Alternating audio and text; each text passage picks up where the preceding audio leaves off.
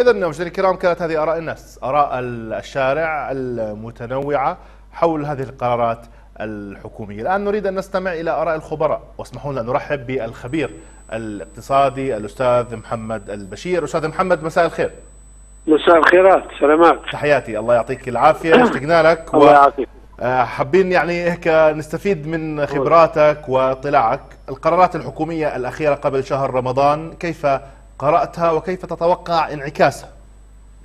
آه، لا شك إنه يعني محاولة جيدة باتجاه تخفيف معاناة الناس لكن آه، أصلا الناس تعاني بشكل كبير. نعم.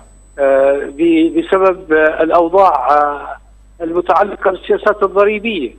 الضرائب ضرائب المبيعات على السلع والخدمات وقانون ضريبة الدخل الأخير الذي استهدف ذوي الرواتب بالدرجة الأساس بحيث أن استهداف 250 مليون منها 123 مليون بتخص الرواتب و53 مليون بتخص الأفراد يعني الناشطين أو المهنيين أو غيرهم و70 مليون بتخص الشركات المساهمة العامة. هذا كله يعكس حاله على الحالة التي نعيش. بالإضافة إلى انه هذا اعتراف من الحكومة لأول مرة تعترف أن الظروف الاقتصادية للمواطنين نعم. والقوة الاستهلاكية في تراجع وهذا يعني أن الانكماش الاقتصادي أصبح حقيقة لدى الحكومة وبالتالي لابد من إجراءات حقيقية في معالجة الشأن الاقتصادي الذي هو بحاجة إلى إنعاش من أجل أن ينعكس على المواطنين سواء كان على صعيد القوة الشرائية أو على صعيد المؤشرات الأخرى ذات العلاقة بالبطالة، ذات العلاقة بالفقر، ذات العلاقة بميزان التجارة، ذات العلاقة بميزان المدفوعات، كل هذا بده معالجة حقيقية لموضوع الاقتصاد، هذا اللي بنأمله من الحكومة آه أن تعمل به. نعم. يعني مثل هذه القرارات اللي بتكون مؤقتة يعني قبل مثلا شهر رمضان بعد شهر رمضان هل راح يكون في انعكاسات سلبية على المواطنين اللي تراكمت عليه فواتير المي والكهرباء. هم حكوا فيش قطع برمضان بس بشوال ما أعلنوش. طبعا هذا يراكم هذا يراكم. يعني حتى تأجيل القسط حتى تأجيل القرض يعني هاي معالجات آنية. تماما كما نتحدث عن معالجة الأسبرين أو معالجة الريفينين أو إلى آخره من الادويه المسكنه، لكن بالمحصلة نحن الأردنيون جميعا يأملون من الحكومة أن تعالج الشأن الاقتصادي بعمق.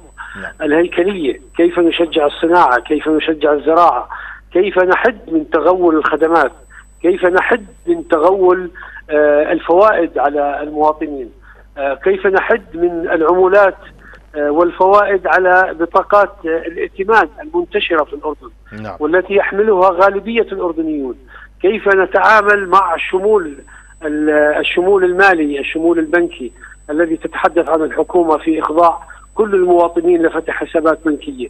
هذا يتطلب أن نخفف من الأعباء من هذه الخطوات المتعلقة بالسياسة النقدية. هناك الحوالات التي يتم دفعها عن طريق فواتيركم كيف نستطيع أن نخفف منها؟ هناك عمولات ورسوم متعددة موجودة، هناك أيضا تغول بالوظيفة العامة على المواطنين عبر مثلا رخصة مهن تؤسس شركة ب 27 12 على سبيل المثال نعم. تريد الأمانة أن تجعل صاحب المهنة أن يدفع 50% من رخصة مهن على يومين لم يمارس فيها العمل. م. يعني تتفرج على الضمان الاجتماعي يكتشف أصحاب العمل أن أحيانا تغيير تغيير شكلي دون أن تخسر المؤسسة الضمان الاجتماعي أي مبلغ بتروح المؤسسة بتغرب بتعمل غرامات دون مبرر. وهكذا عندما نتحدث عن غرامات الضريبة. المواطنون بشكل عام اليوم دخلهم مربوط بالعجله بالعجلة الاقتصادية المتعددة المتشعبة. نعم. دون أن تنظر الحكومة بنظره شموليه للاقتصاد الوطني لا نستطيع أن نقول أننا عالجنا بتخفيض 80 سلعة، أنا بقول جيد تخفيض أسعار 80 سلعة ودفع المؤسسه الاستهلاكية أن يكون هامش متواضع، هذا مهم. وجيد لكننا نريد معالجة جوهرية بالصميم. نعم بهذا المعنى أستطيع أن أنصح الحكومة. هل هل هل لمست تخوفات سياسية بهذه القرارات؟ البعض ربطها بحراك رمضان العام الماضي. آه طبعا طبعا يعني يعني هذا الواقع من أجل مواجهة رمضان وأعباء رمضان لا شك إنه الحالة الصعبة التي يعاني منها المواطنين وأيضا يعني انتشار ظاهرة الإسراف في رمضان يجعلنا ندعو باتجاهين الأول لشعبنا وجمهورنا ومواطنينا أن يعني يتقوا الله الصرف ويراعوا مشاعر الآخرين في موضوع الصرف وطريقته وأن يستبدلوا الصرف الكثير في مساعدة الفقراء ومساعدة المحتاجين عبر عناوين كثيرة موجودة بالبلد جمعيات وغيرها.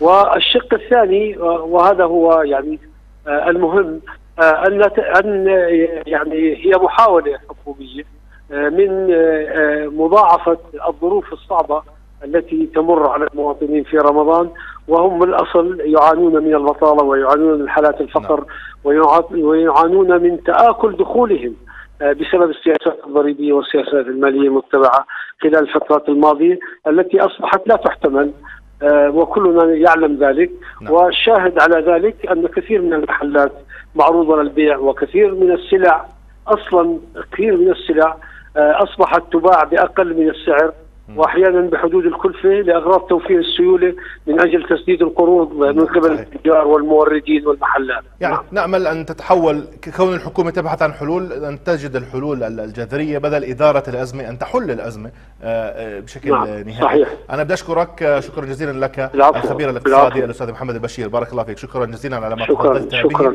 شكرا اذا هذه وجهة نظر أيضا الخبراء الاقتصاديين ما بدنا ننكر إنه في قرارات إيجابية ورح تنعكس على الناس بشكل إيجابي. ولكن يعني هنالك كثير من التعليق عليها واللي جزء منه يعني اللي ذكره الأستاذ محمد البشير. الحكومة قادرة كما عندها النية إنها تخفف الاحتقان وتلغي أي احتجاجات في رمضان إنها تعمل هذه القرارات. خلينا نعمل قرارات جوهرية أكثر. والاقتصاديين نفسهم وعلم الاقتصاد هيك بيقول يعني العلم اللي توصلت له البشرية بعد تجارب إنه لما تقل الضريبة تقل الضريبة بتزيد الحركة وبتزيد القوة الشرائية وبيتم القضاء شيئا فشيئا على الركود وبالتالي راح تزيد الإيرادات. فخلينا تتجرأ الحكومة زي ما تجرأت وبدهاش تغلي البنزين مع إنه هي بتقول إنه إذا أنا ما غليت البنزين بخسر. زي ما أنت بتدعي إنه الآن خسرتي.